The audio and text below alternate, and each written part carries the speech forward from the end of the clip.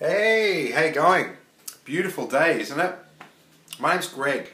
Uh, I just moved into the neighbourhood around here. In fact, that's that's my house back there. What? Greg, I just uh, I moved into the neighbourhood just recently. You are? I'm trying to get to the beans. Yeah. Look uh, about that. We had uh, we had a bit of a party last night, and uh, yeah, it was great. Uh, and uh, yeah, I'm sorry, but I filled your bins. Yeah, yeah. I'm sorry, but uh, I didn't even know anyone lived uh, in this house here.